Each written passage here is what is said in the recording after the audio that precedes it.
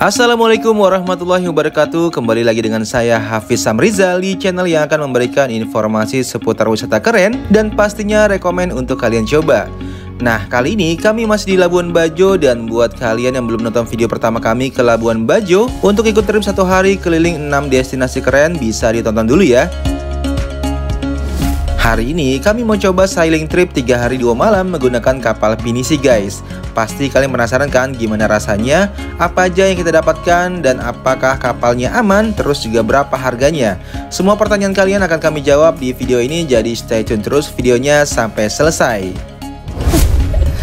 Guys kita mau trip lagi. 3 hari 2 malam ya pakai kapal pinisi Seperti apa? Ikutin terus video kami ya. Let's go Siang, Siang. Ini adalah hari ketiga kami di Labuan Bajo setelah kemarin kami udah coba ikut full day trip menggunakan speedboat untuk mengelilingi 6 spot keren yang ada di Labuan Bajo. Nah, kayaknya kurang afdol aja kalau kami ke Labuan Bajo tuh belum coba berlayar dengan kapal pinisi yang menjadi ikoniknya Labuan Bajo, guys. Dari hotel, kita akan dijemput oleh guide-nya untuk menuju pelabuhan Labuan Bajo.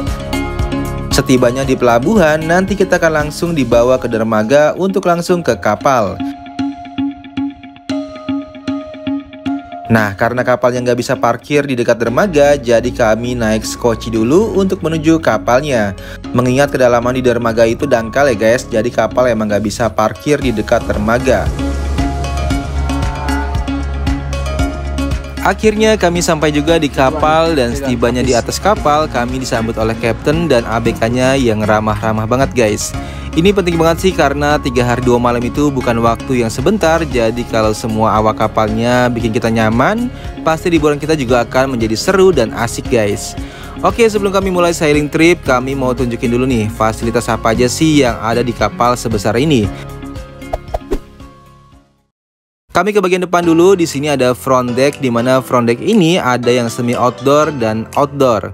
Untuk yang semi outdoor sudah ada meja dan sofa yang melingkarinya dan di sini sih asik banget ya buat tempat kumpul bareng sambil menikmati view dan angin laut guys. Lanjut kami ke bagian outdoor dari front decknya dan di sini ada sofa yang nyaman banget buat duduk santai Oh iya, di sini juga banyak banget disediakan rompi pelampung buat snorkeling dan mengantisipasi jika terjadi sesuatu. Nah, kemarin ada nanya nih guys, apakah aman sailing trip pakai kapal di Labuan Bajo mengingat banyak kapal ilegal di Labuan Bajo? Untuk kapal yang kami pakai ini sudah terjamin legalitasnya Karena untuk berlayar mereka harus urus surat izin berlayarnya dulu Dan kaptennya pun juga sudah memiliki surat izin ya guys jadi nggak usah khawatir dan kalian juga jangan terpengaruh kalau dapat harga murah karena murah itu bukan menjadi jaminan liburan berkualitas. Apalagi harus menjaminkan keselamatan kalian selama berlayar di tengah laut. Lanjut kami ke bagian anjungan kapal yang menjadi spot paling keren untuk foto-foto guys. Oh iya, kapal ini memiliki 6 kabin atau kamar yang terdiri dari satu master kabin, 4 private kabin, dan satu sharing kabin. Sekarang kami cek ke master kabinnya dulu ya. Wah, sumpah ini keren banget sih guys. Nggak nyangka aja di dalam kapal ada kamar dengan fasilitas layaknya hotel. Di sini ada tempat tidur double bed dengan kapasitas maksimal bisa untuk empat orang. Terus di kabin ini juga sudah dilengkapi dengan full AC, kursi, dan jendela panoramik yang keren banget guys.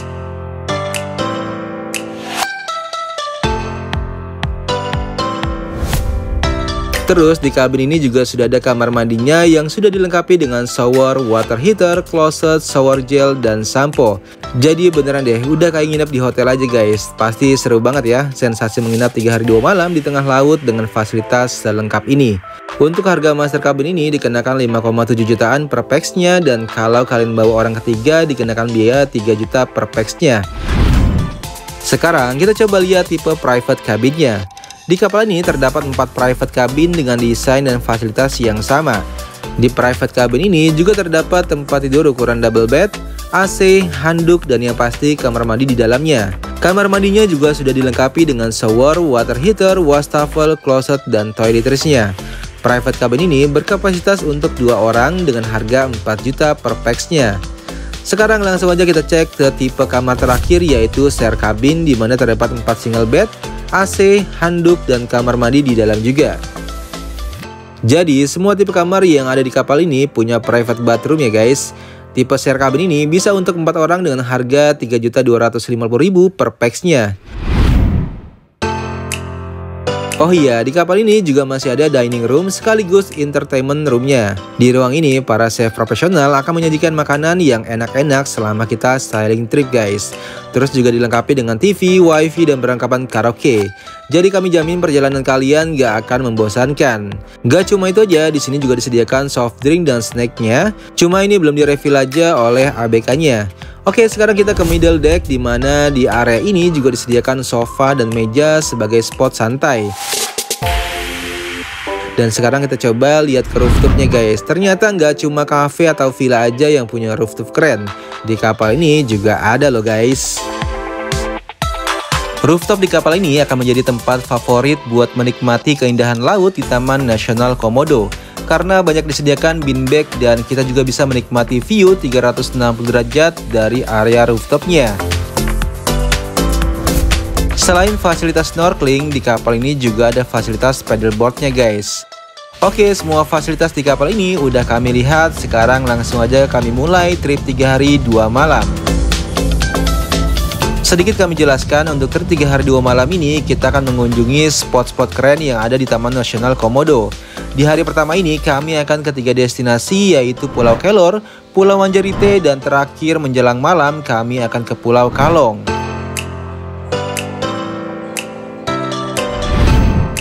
Destinasi pertama yaitu Pulau Kelor. Kalian bisa trekking sedikit untuk mencapai puncak dan treknya memang agak curam dan jalannya pun masih tanah, tapi so far masih bisa dilewati dengan aman. Sesampainya di atas, kita akan disuguhi pemandangan yang bagus banget guys. Pemandangan gugusan pulau, samudra, kapal pinisi, dan pantai dengan pasir putih menjadi satu kesatuan yang indah banget buat kita pandang. Lanjut kami ke destinasi kedua yaitu Pulau Manjarite. Pulau Manjarite merupakan pulau tak berpenghuni yang berada di kawasan Taman Nasional Komodo. Destinasi wisata ini menjadi salah satu tempat snorkeling yang sempurna bagi para wisatawan. Panorama pantainya yang indah membuat pulau ini menjadi tujuan wisata favorit para pelancong. Pantai di Pulau Manjarita ini memiliki perairan yang dangkal dengan ombak yang tenang. Inilah alasan yang menjadikan lokasi ini sebagai tempat yang sempurna untuk snorkeling guys. Kalian bisa menikmati hamparan flora dan fauna bawah laut yang keren banget. Atau buat kalian yang mau snorkeling bisa main paddleboardnya aja. Wah, pasti seru banget kan liburan kalian 3 hari 2 malam di kapal pinisinya.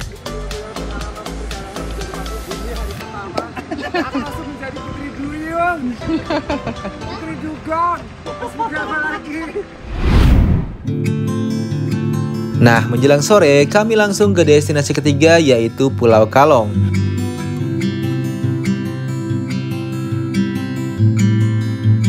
Pulau Kalong menjadi salah satu destinasi wisata terbaik yang berada di Taman Nasional Komodo.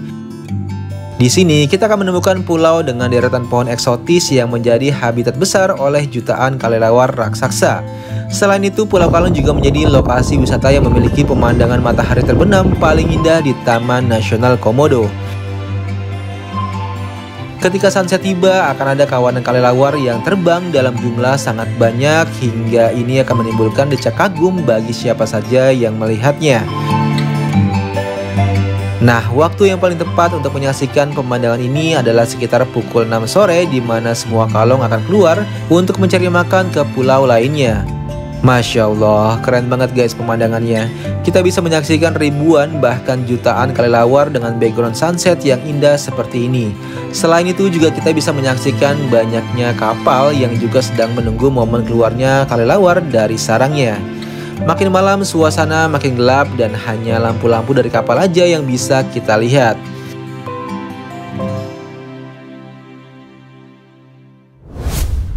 Oke guys, sekarang waktunya makan malam. Jadi buat kalian yang ikut trip 3 hari 2 malam, kalian gak usah mikirin perut lagi karena untuk makan, minum, dan snack semuanya terjamin. Untuk makan sistemnya prasmanan seperti ini dan untuk menunya layaknya kalian nginep di hotel aja ya. Dan satu lagi yang terpenting adalah rasa makanannya enak semua guys. Oke, waktu sudah semakin malam, jadi kami mau istirahat untuk ikut trip besoknya.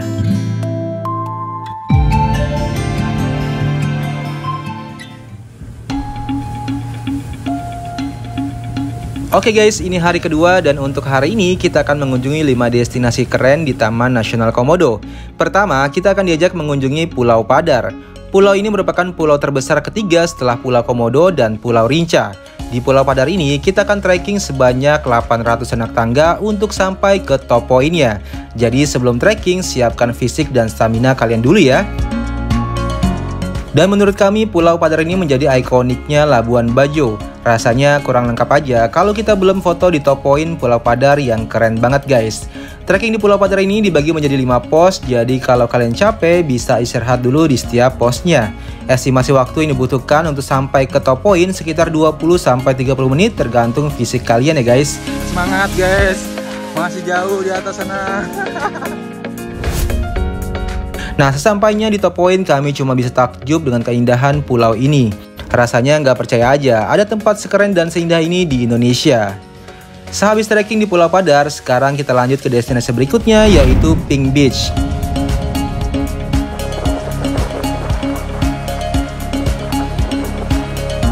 Pink Beach ini terletak di Pulau Komodo. Kalau sudah di sini tuh kayaknya tinggal nyebrang-nyebrang aja antara pulau-pulau yang berdekatan guys. Nah sekarang kami sudah sampai di Pantai Merah atau yang dikenal dengan Pink Beach. Hamparan pasir yang berwarna pink sepanjang pantai ini berasal dari butiran pasir warna putih yang bercampur dengan butiran terumbu karang berwarna merah yang sudah mati bernama foraminifera atau foram. Jadi itulah alasan kenapa pantai ini warnanya bisa menjadi pink. Dan kalau dilihat dari atas, gradasi warna pinknya Masya Allah keren banget ya. Ditambah kejernihan air lautnya bikin tempat ini makin indah dan keren banget untuk foto-foto bareng pasangan atau teman guys. Di Pink Beach ini gue banyak warung-warung jadi kalau kalian kepanasan bisa santai dan istirahat dulu sambil makan atau minum di warungnya.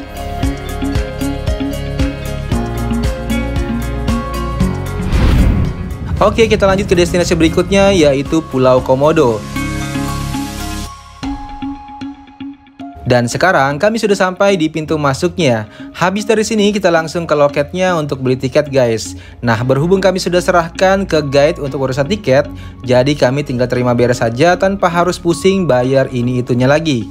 Di area loket ini ada seperti museum komodo di mana banyak informasi tentang komodo. Terus juga ada area trekking yang akan kita ambil nantinya untuk mencari komodo. Karena untung-untungan juga ya buat bisa lihat komodo di mana yang kami tahu komodo itu hewan individualisme yang nggak suka kumpul buat gosip bareng guys. Jadi lumayan susah untuk nyari komodonya. Trip di Pulau Komodo kali ini kami ditemani oleh ranger atau pawang komodo yang sudah berpengalaman.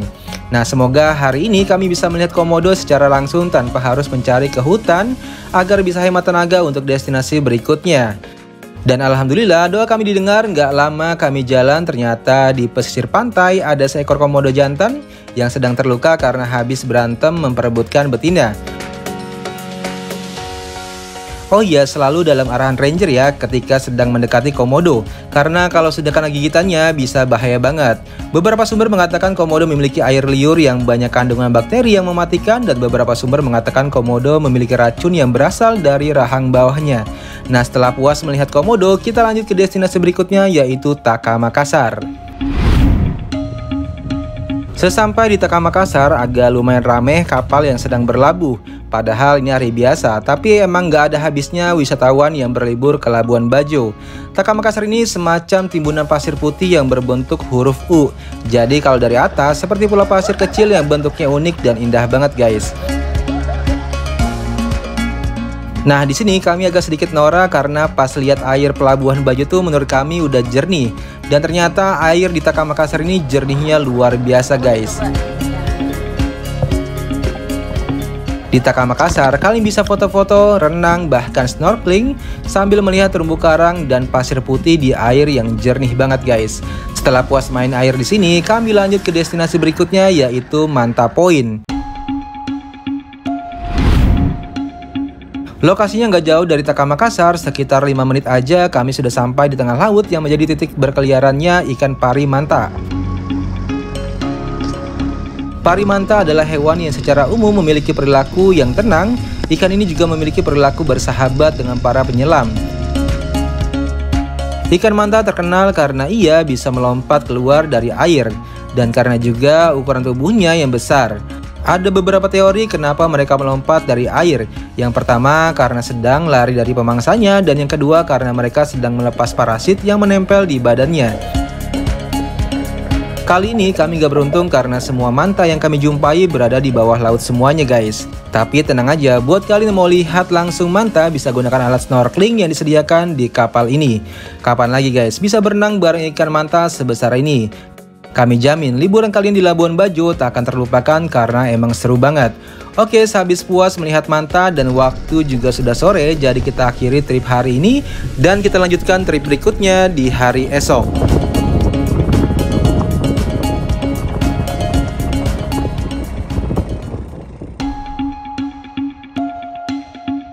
Di hari ketiga atau hari terakhir ini kita akan trip ke Pulau Kanawa.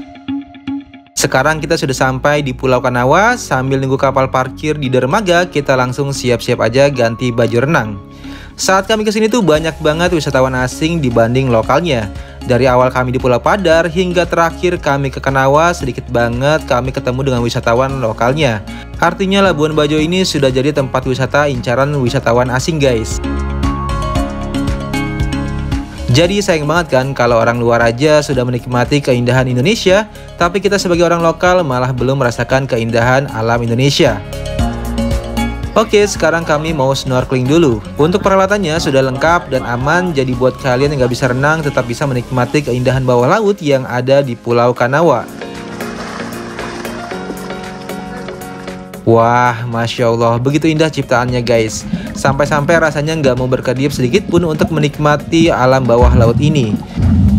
Di sini banyak sekali terumbu karang dan ikan-ikan yang bagus banget, bahkan ikannya ini seperti jinak dan menari-nari di sekeliling kita. Pokoknya seru banget ya dan sulit kami ungkapkan dengan kata-kata, kalian harus coba sendiri ke Labuan Bajo. Sehabis snorkeling di Pulau Kanawa, kalian bisa ke Pulau Bidadari atau langsung kembali ke Pelabuhan Labuan Bajo. Jadi destinasi Pulau Bidadari itu opsional aja ya. Dan kami pilih kembali ke pelabuhan karena siang nanti kami mau check-in untuk staycation di hotel yang ada di Labuan Bajo. Oke, satu kata buat Labuan Bajo yaitu amazing. Dan buat kalian yang mau coba sailing trip 3 hari 2 malam di Labuan Bajo bisa hubungi kontak admin kapal yang kami gunakan. Karena servis dan fasilitas kapalnya sudah terjamin bagus. Nomor kontaknya ada di kolom deskripsi ya. Oke guys, mungkin itu aja perjalanan 3 hari 2 malam kami. Saya Hafiz Amrizal mengucapkan terima kasih dan sampai ketemu di trip kami selanjutnya. Wassalamualaikum warahmatullahi wabarakatuh.